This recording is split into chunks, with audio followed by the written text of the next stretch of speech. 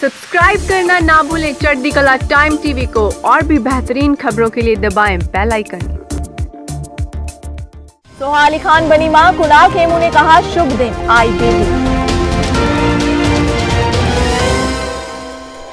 पटौदी खानदान में एक और खुशी आई है। पिछले साल जहाँ सैफ अली खान की पत्नी करीना पहली बार माँ बनी तो अब सैफ की बहन सोहा अली खान भी माँ बन गई है। सोहा अली खान और कुणाल खेमू पेरेंट्स बन गए हैं और सोहा ने आज मुंबई के ब्रीच कैंडी अस्पताल में बेटी को जन्म दिया है।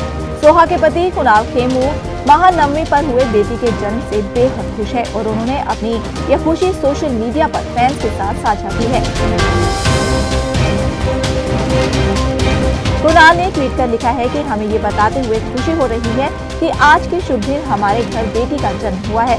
सोहा और बेटी का स्वास्थ्य अच्छा है। हम आपके प्यार और आशीर्वाद के लिए शुक्रिया अदा करते हैं।